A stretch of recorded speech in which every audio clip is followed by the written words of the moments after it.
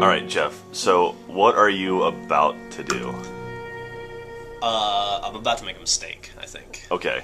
I'm going against my better judgment. I have been taught. Everybody that works with me at Red Rooster Teeth and Achievement Hunter knows that uh, as the father of a young girl, I have all in. I have terrible problems watching sad girl stuff. Like I almost couldn't play Dead Rising 2 because I had to give my daughter shots, Katey shots constantly, and uh, it would make her cry.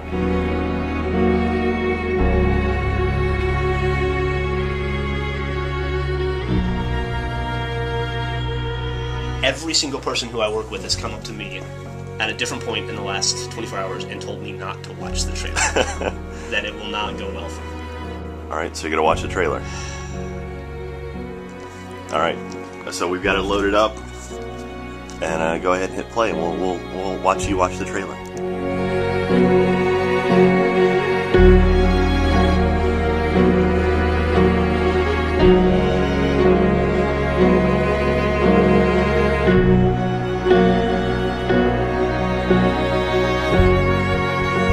this girl is between the ages of 5 and 10, I'm not going to be able to watch